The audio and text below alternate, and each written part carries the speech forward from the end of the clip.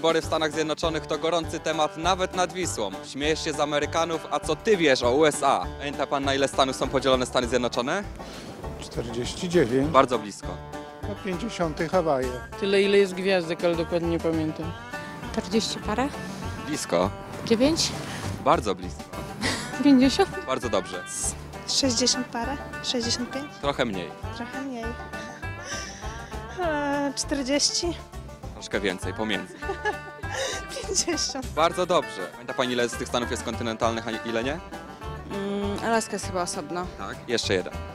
Wyspy, cieplutko. Mm, Hawaje. Bardzo dobrze. Alaska, Mhm. Rhode Island, Nie, Floryda, nie. Wyspy kojarzą się, wulkaniczne. Hawaje. Pierwszy prezydent stanu. O kurczę, no teraz jest, są wybory, więc nie wiadomo. Pierwszy kto był prezydentem Stanów Zjednoczonych? Mamy rondo w Warszawie. Hmm. Starzyńskiego? George Washington. Bardzo dobrze. Trzech ostatnich prezydentów? Ostatnim jest to Obama. Tak. Bush? Bardzo dobrze. Barack Obama, George W. Bush i Bill Clinton. Kto teraz jest prezydentem? No teraz są będą wybory, więc nie wiadomo. Teraz kto jest? No teraz jest jakiś gościu. Czarnoskóry, jak się nazywa? Obama. Na imię ma? George?